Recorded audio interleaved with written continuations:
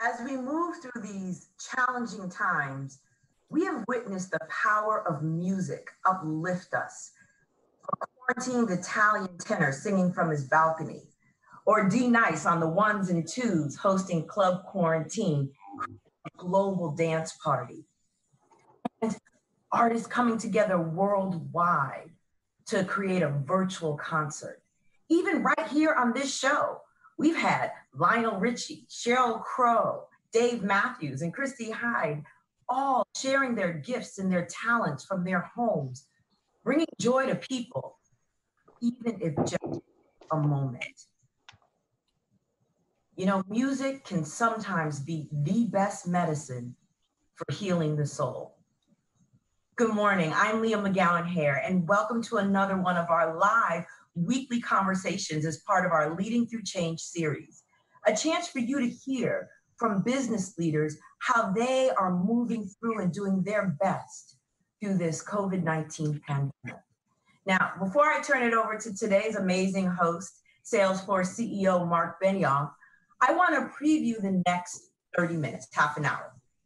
Mark will be interviewing Lars Ulrich to discuss how Lars and the band are engaging with their fans and how companies can stay connected with their customers and even build a stronger connection.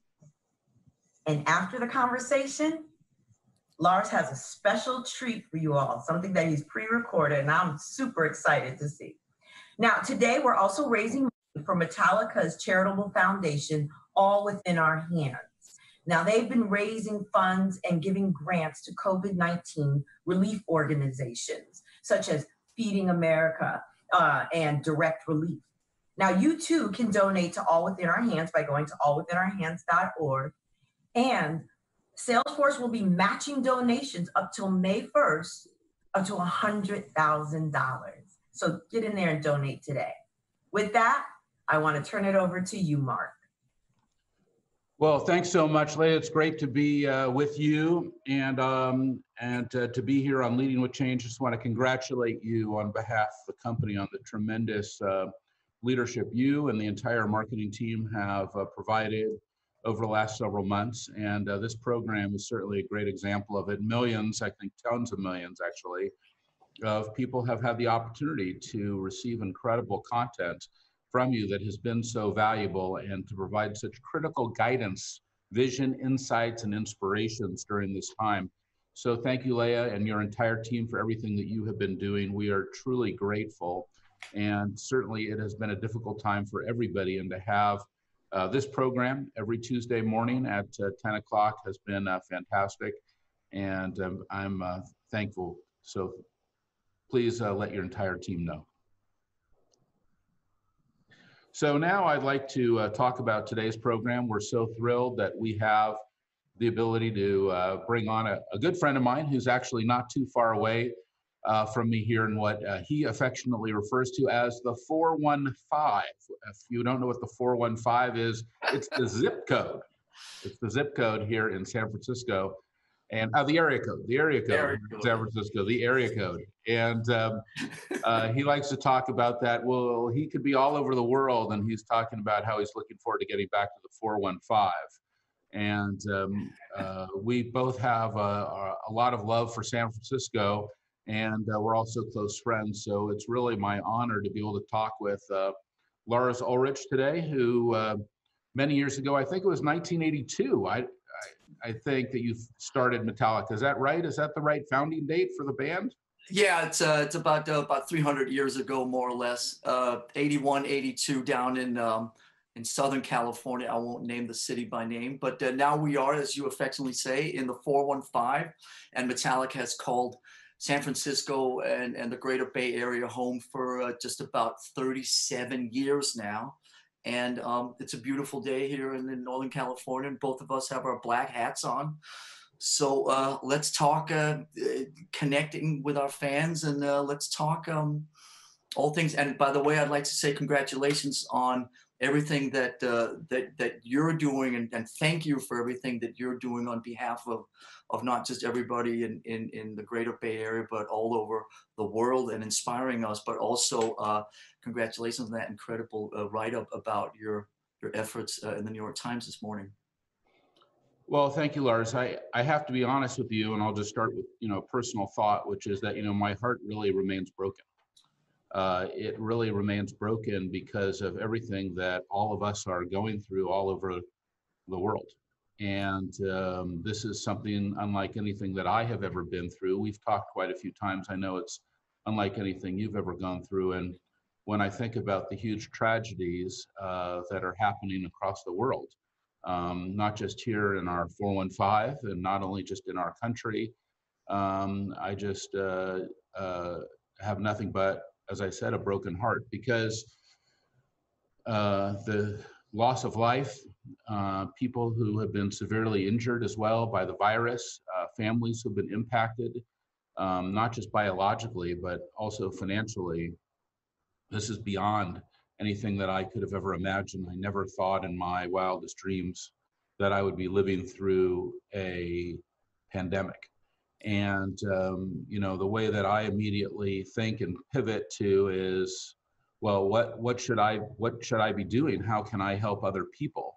And what, what does that, what can I do for others? And of course, you know, as we talk about our Ohana, our employees at Salesforce and our customers, um, what can we do for our communities and um, you know there's so few things that you seem like you can do i feel quite helpless most days and the one thing that we've found that we could do is provide personal protective equipment to doctors to nurses to uh, police fire other first responders.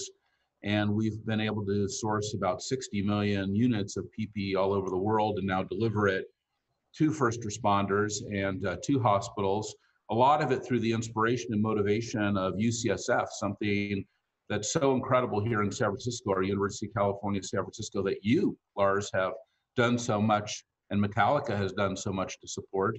And I'll tell you that uh, that has been uh, one of our main focuses. And, um, you know, I think about what are other things that we can do now uh, to help this uh, world uh, that's in tragedy. And I, and I know that you've been doing so much as well with all within our hands foundation and also your vision of what you can do. So, you know, I think everybody has to do something. Everybody has to do at least one thing to improve the world. When the world is in crisis and the world is in tragedy, we all have to reach out, reach out and, you know, our hearts have to open with compassion.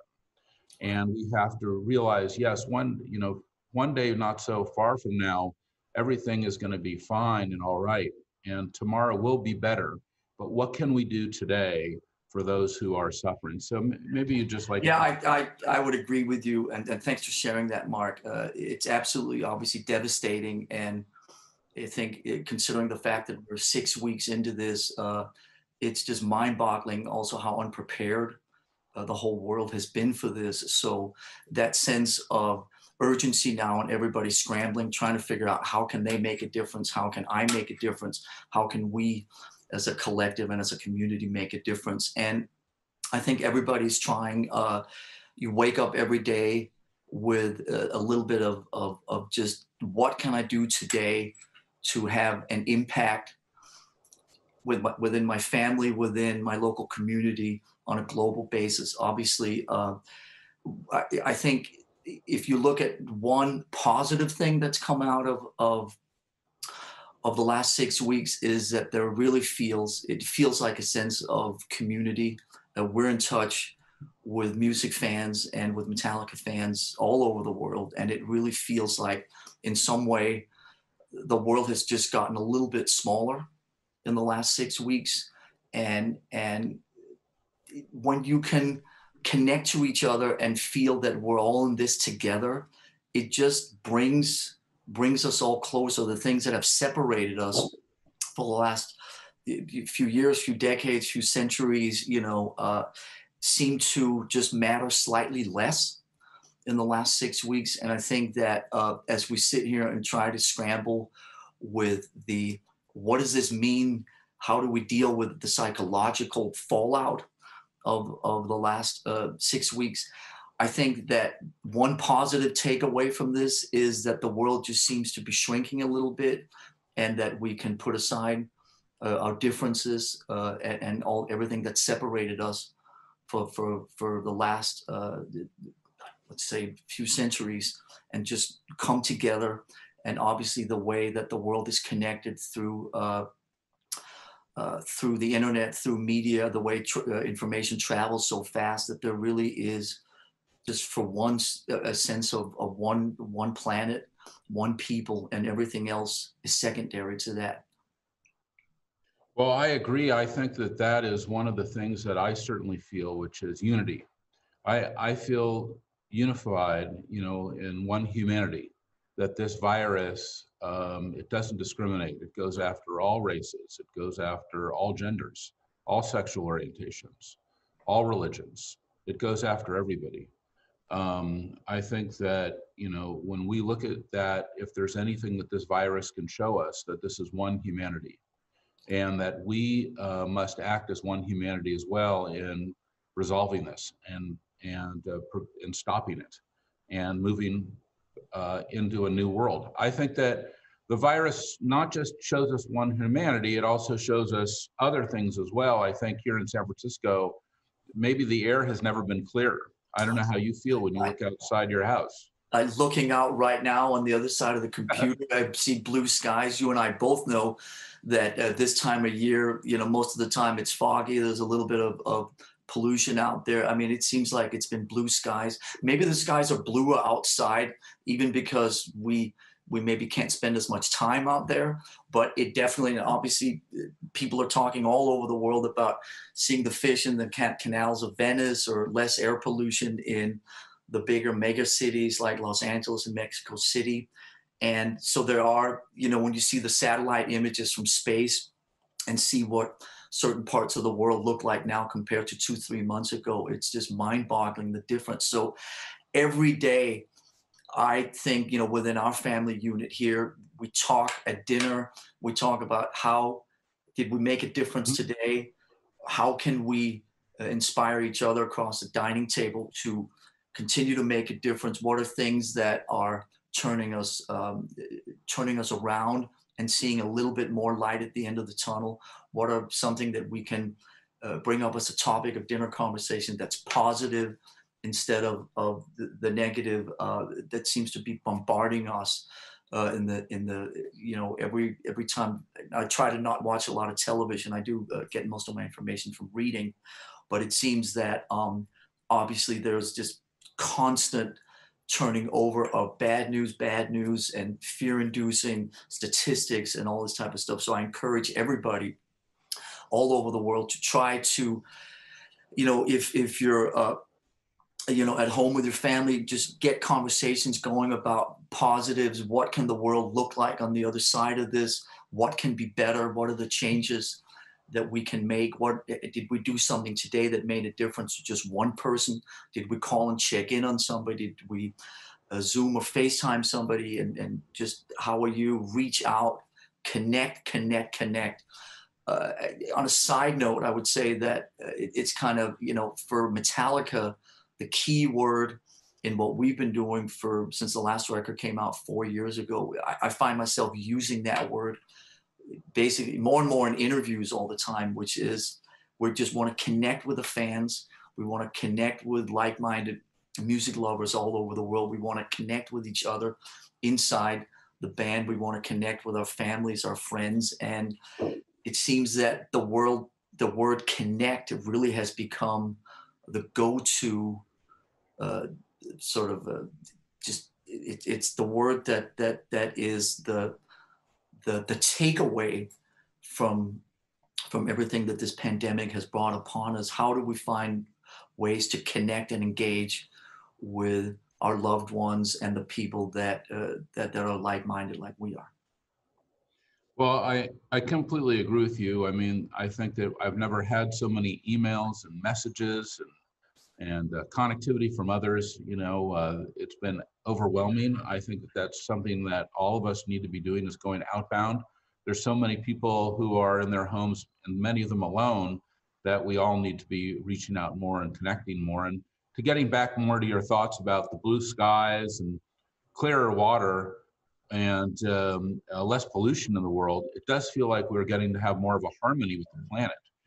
And you know, not only do we have more of a unity, more not only are we connecting more with each other, but there seems to be uh, the opportunity to see harmony uh, on the planet between uh, us as humanity and the planet in a new way. That seems to be such a powerful thought that in this new normal, uh, somehow, how can we continue this harmony uh, going forward?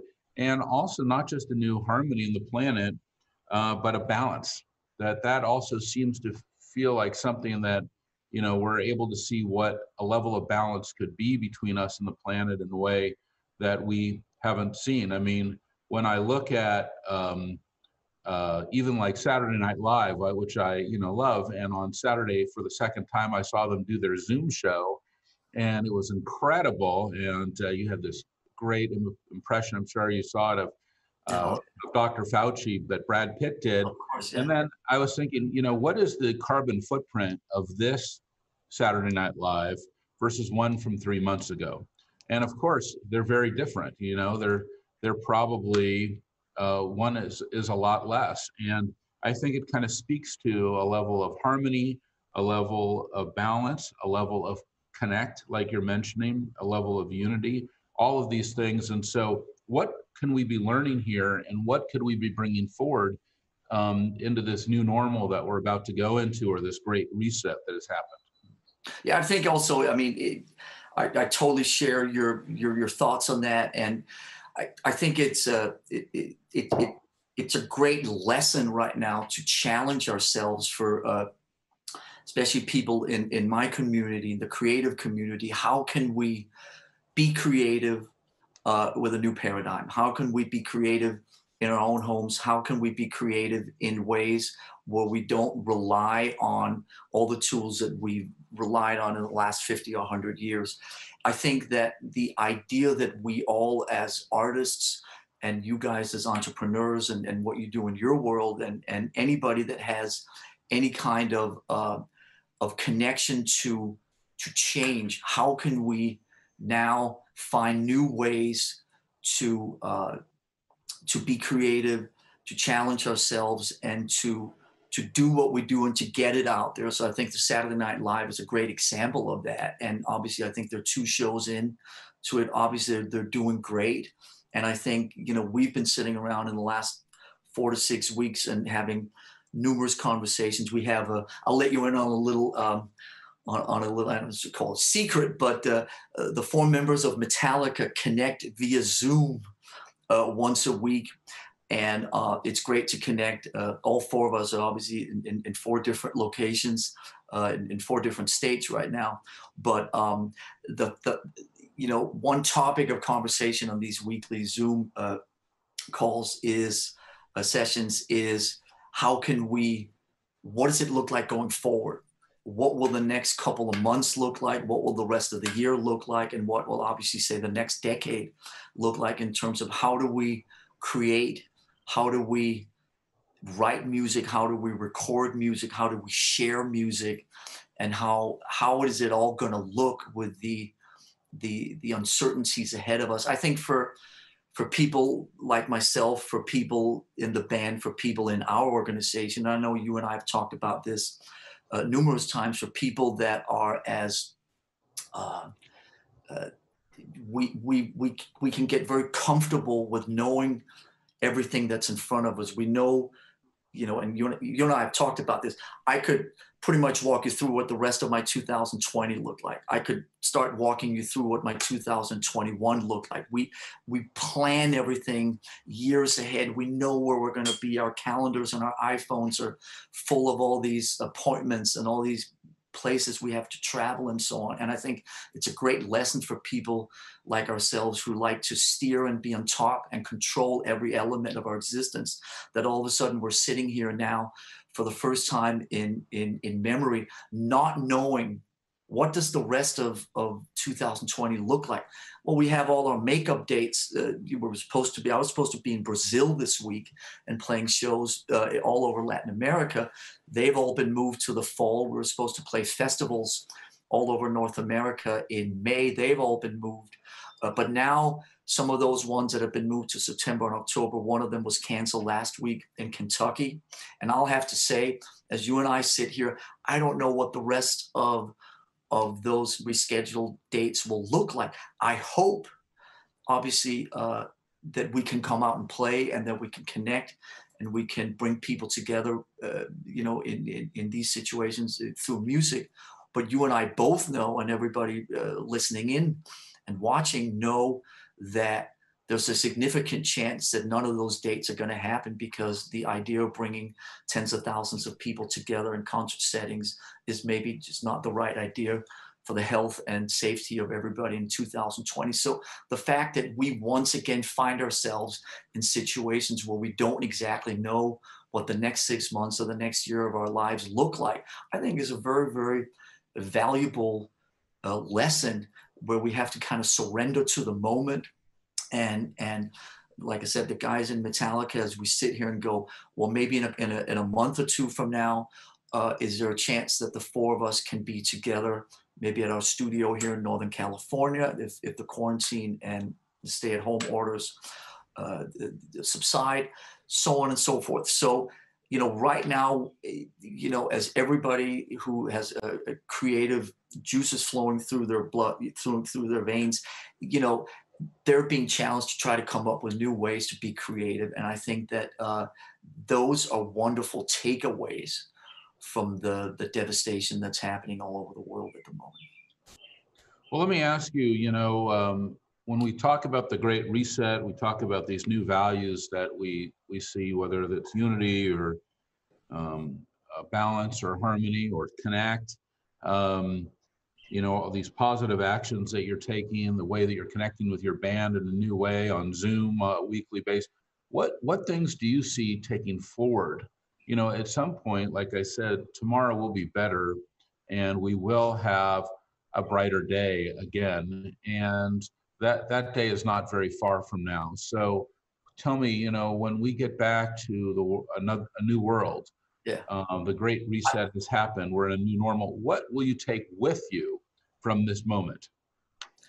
Well, I, I would I would take a lot of things. I mean, we sit around at at the dinner table, uh, my wife Jess and and the boys, and and and we talk about how crazy it is to be quarantined and and how you know we're going stir crazy, but we always flip that conversation around in 10 seconds, go, in some way, we'll miss the closeness, we'll miss the intimacy, we'll miss the, the you know using the word connection again that we've made as a family. I don't think as a family we've ever been closer than we have been in the last six weeks. To be able to have you know the the two older boys are at nyu to have them home uh, unexpectedly for six weeks and and to be doing their uh, virtual classes uh, from their bedrooms. And and you know so as a family just that in itself uh, is such a treasure to be able to uh, to really sit here and every day and and and reconnect with your kid you know in my case 21 year old and 18 who are, who are back from the east coast. So i think that as we move forward you know we'll look back uh, on the great reset as you're saying with um i think a lot of mixed emotions. I think that uh I kind of, to be honest with you, enjoy, and I know the people around me in the Metallica organization, uh, you know, appreciate the fact that I'm sitting down and that I'm uh, uh, not on the phone 12 hours a day trying to figure out what we're going to do in 2023 and and so on and so forth. And so I the the, the sort of the forced just slowing down your breathing, connecting with your surroundings I think is a great thing. Everywhere in the world of, of not just music, but in the world of anything entertainment, obviously film, theater, art, anything that has to do with creativity, I can guarantee you there are thousands uh, of conversations right now. How do we make records? How do we uh, make uh, uh, filmed entertainment? How do we make art? How do we share it with this new paradigm that's happening? And what can it look like on the other side of, of, of the new normal? And, you know, even if you bring it into our world, uh, the people that make all the software and and all the stuff that we use use to record are sitting right now trying to figure out how Lars and James and Kirk and Rob can make a Metallica record from four different locations in four different states, and that's something that we're obviously circling, very excited about. So, I, I Is that going to happen? Are we going to see a new Metallica album appear from your homes? uh, well, again, uh, a lot of that will obviously have to do with how long the stay in stay at home orders stay in place. A lot of that will have to do with if there's a second uh, wave of the virus. Who knows? Just like we talked about, who knows what what our our world will look like six months from now? But obviously, uh, the one thing that you can depend on with creative people, for better or worse, is that they can't sit still for very long. And I can tell you that on these weekly uh, Metallica Zoom sessions, we are talking about how we can just be a band again. Not, not. I mean, and then there are many different phases to being in a band, um, but the the most basic one, and certainly where it started 37 years ago, is to just have four guys play music together. The fact that it ends up being shared all over the world and connecting with millions of people, that's much later and, and a whole different thing. But at its core essence, uh, is just four guys in a room or connected via Zoom, the Zoom room, uh, you know, making music together. And I can tell you that all four of us are. Uh, are, are, are really excited about what what that could look like. So, will there be a, a Metallica, Metallica quarantine record? I can't tell you because uh, again, I don't know how long the quarantine will last. But if you and I and and the rest of the world are still sitting here six months from now, a year from now, I'd say there's a very good chance. Well, that would be exciting to uh, see, you know, what you guys uh, could do from your home. I mean, I think music and concerts from your home. We've seen artists uh, like you, incredible people. I, I can tell you, I can tell you one thing. Sorry to cut you off. That uh, you know, again, trying to find the lighter moments occasionally. Uh, uh, you know, as we've been touring the world for 35 plus years now, and it still is is uh, what fuels us. But as you sit and look into into your future, and and and as you sit and still are inspired by artists like Neil Young and the Rolling Stones and you know, the, the Black Sabbaths and Paul McCartney's of the world who are touring well into their 70s. You know, we always, we sort of would jokingly sit there occasionally. Well, you know, if we get too beat up to travel or too old to travel or whatever, maybe there's some version where we can be in San Francisco, we can be in our homes, and there can be, you know, a concert or a, a, an audience that comes to us. So, uh, obviously in, in, in, a, in a strange way be careful what you wish for but that may may someday uh, that may be accelerated now that that train of thought so we'll see So you could see a Metallica concert from uh, the four of your homes as well as a new album. yeah I, I think that i mean like i said obviously in in your uh, technology world right now lots of people are sitting trying to figure out you know the software solutions to these things and to try to figure out how to make that happen but in the in the great uh, uh, event that was put together by uh, my friend Hugh at Global Citizen and Lady Gaga a week or two ago, where the Rolling Stones were playing as a band. There are obviously some practical. If you're a, a solo artist, uh, one, uh, you know, one one person, one voice, one guitar. It, it's it can be practically easier to share your your your art with the world but when you are in a band and and so much of us so many of us love that still that that that band mentality being in a, in a band being in a collective being that safety and numbers thing. So obviously as you saw with the rolling stones uh, on the global citizen uh, event a week ago there are ways to do this. Uh, i think that the ways will continue to improve. And i'm sure somewhere right now uh, some of your colleagues uh, in the technology world are figuring out how to to make that uh, happen in a way that that will be a new and exciting and and and and will will just work for for everybody involved. Well, I know that people like me, you know, and, and your fans around the world would love to have a, uh, you know, live uh, Metallica concert from your homes and also a, a quarantine album. That sounds amazing. I wanted to ask you, you know, we've been talking um, uh, when we're not here, but just as friends, a lot about Denmark. And looks like Denmark is opening. They won't let US citizens in right now uh, for obvious reasons. So um, we're not, you're not going to be going home anytime uh, soon. Well, hang on. I, I, Oh, I, still have, I still have my Danish passport. Oh, you still have, well, hopefully let you I sleep with it under my pillow every night. uh, yeah, so Denmark, obviously, uh, Denmark was one of the first countries uh, in anywhere in the world to actually uh, uh, go into complete shutdown, and uh, they've uh, registered the lowest uh, case numbers in uh, in all of Western Europe. Uh, just about uh, it's about a week and a half ago now. They started opening up uh, daycare and kindergartens and schools. And so far, it's going well. Uh, It's still early uh, in that curve. Uh, and obviously, I think what we have to remember, no matter where we are, uh, as the world as, as the world opens up again, the way the world shut down in one or two days or in a week, it's not going to be the same opening. So it'll be a very gradual opening.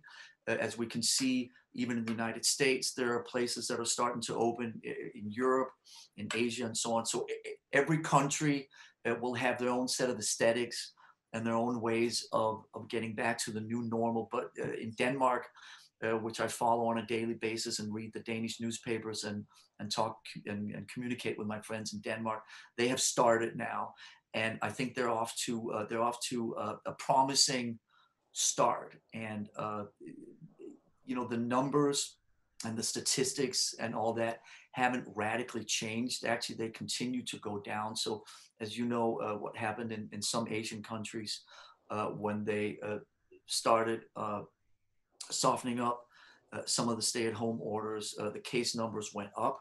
But in Denmark, so far, it, it looks uh, it looks promising. So uh, that Danish passport is close by in case it's needed. And you might be able to ask to get a friend in too if needed, because I'm going to need a haircut pretty soon, by the way. yes, our uh, our great uh, our, our our our great uh, Crown Prince Frederik uh, went out the very first day, uh, who will be king um, uh, at some point. He went out the very first day that that the stay-at-home orders were lifted and got himself a haircut that went virtual all over the world. I believe I saw in many different news outlets a before and after picture. And so I think that um, both him and the rest of the 5 million people in Denmark uh, exemplify, uh, you know, when I think of Denmark, I just think of the word we. Everything in Denmark is always we and us and, and, and, and uh, less about I and me. And so when I, I think of what Denmark has done uh, through this crisis, I'm very proud to call myself a Dane. And um, and I think that uh, the progress that's being made there is certainly uh, encouraging and inspiring for the rest of us. Thank you for taking the time with us this morning with Leading with Change. And thank you, Leah, for everything that you have done. We're so grateful to you.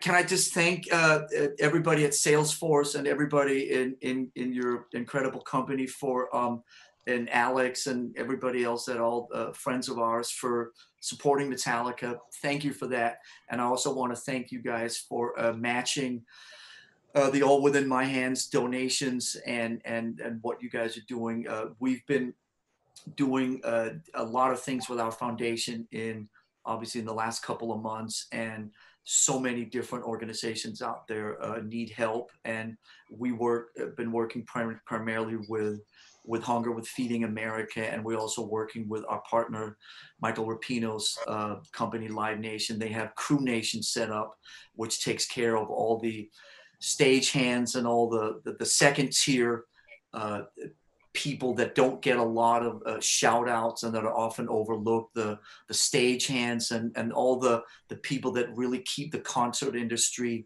uh, rolling every day the people that load and unload trucks and everybody that's out there putting together rock shows all over the world and kind of the unsung un- unsung heroes of the concert industry. So there's a, a foundation called Crew Nation, uh, an organization called Crew Nation that we've been supporting, and I encourage everybody else. I know these are difficult times, and we don't ask anybody, uh, but if anybody has anything that they can share, then a Crew Nation, uh, Feeding America, uh, Direct Relief, and obviously we've also uh, been helping out uh, an organization called the U.S. Bartenders Guild uh, Foundation. So many unemployed people in the service business. So uh, we're trying to make a difference with uh, our All Within My Hands Foundation, and uh, you know, it, it, I think it's important uh, just to remind people that, you know, and to all the Metallica fans out there that the reason this uh, charity organization exists is because we donate uh, two dollars from every concert tickets that we've sold in the last three years, and so it really is because of the Metallica fans that we can write these checks uh, and and make uh, a difference uh, and encourage music fans and certainly hard rock fans and Metallica fans to join whenever whenever we can. So we're uh, very active with um, our uh, our foundation, and once again, Mark, we appreciate uh, everything that Salesforce is doing in matching all the checks that that we're writing. So thank you so much.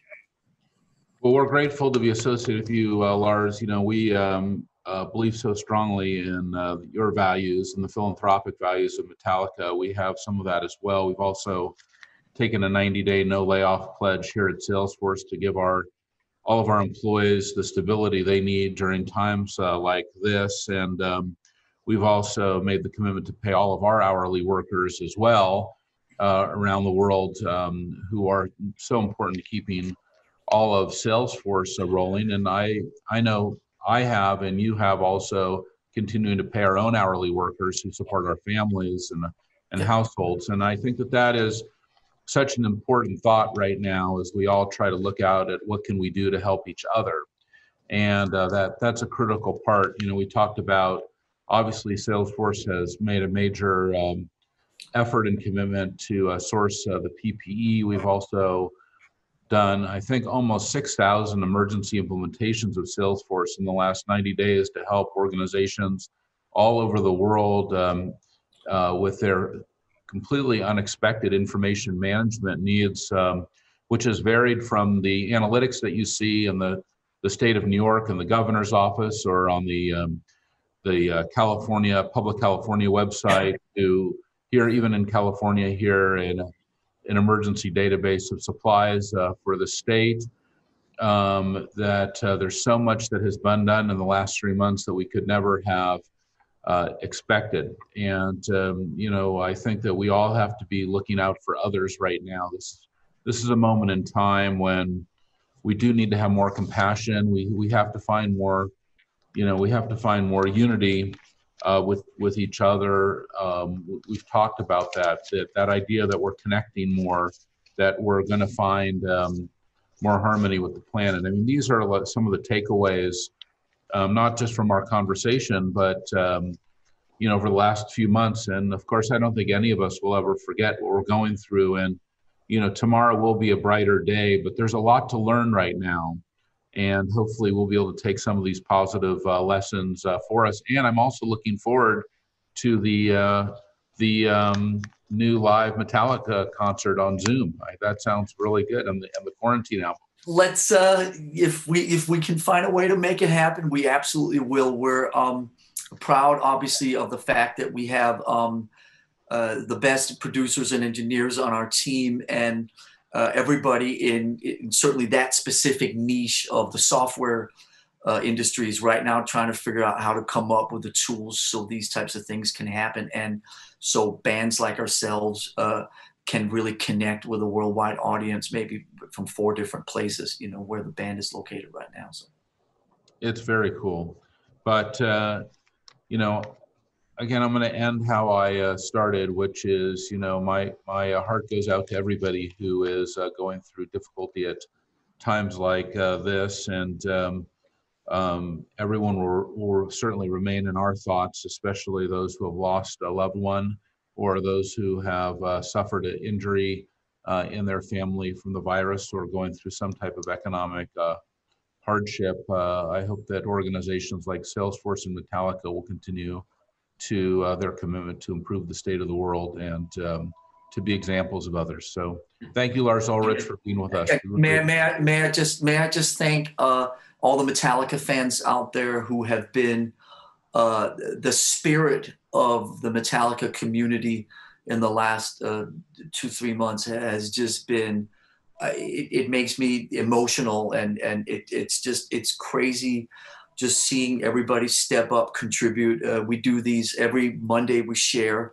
a concert, uh, a stream a concert on YouTube and Facebook all over the world and and people tune in and they even donate uh, to our foundation even though we're not encouraging we're not expecting it, it we don't even want money to be a part of any of this stuff but people still donate we've raised over $50000 just from uh, the donations to these metallica monday uh, streaming of, of concerts on, on across youtube and facebook. And it's unexpected uh, but it's so appreciated and it makes me so proud to uh, to say that I'm a part of, of not just the music community but uh, you know the Metallica community and all the Metallica fans out there. Thank you for your support on behalf of the rest of the band members and uh, the whole Metallica organization uh, we hope you're all safe and sound and we hope uh, your loved ones and your families and your friends and your communities and your neighborhoods are safe and sound wherever on this beautiful planet you are. We will come and visit you at some point. We will have new music. If not, you will come visit us through the magic of everything that I'm looking at right now. We will connect again. Uh, but thank you so much for your perseverance and thank you uh, for for the honor of letting uh, Metallica make a difference in your lives and in your in your struggles through through what uh, you know what what all of us are going through. And uh, much love to all of you out there. Thank you so much. And thank you mark and thank you to everybody at salesforce for having me today. Well, thank you, Lars, and uh, much love back to you and to your family and all of our Ohana throughout uh, Salesforce as well. Um, uh, from San Francisco, we want to send you um, uh, the very best for uh, healing, for uh, protection, for wellness, and uh, peace. And back to you, Leah. Thank you. Thank you, Mark. Thank you, Lars. Thank you for your leadership, both of you, through these very challenging times. And this is a big gratitude coming from the 510, how to represent 510 as well, uh, to all of you uh, out there. Thank you for joining us today. And you can find more of our Leading Through Change stories at salesforce.com slash blog. And finally, one more reminder, please support Metallica's charitable foundation, All Within My Hands. You can go to allwithinmyhands.org and through May 1st, Salesforce will be matching donations up to $100,000. And I expect to see you all back here next Tuesday, May 5th. Bring a friend, bring a family member. And until then, please take care of yourself and each other.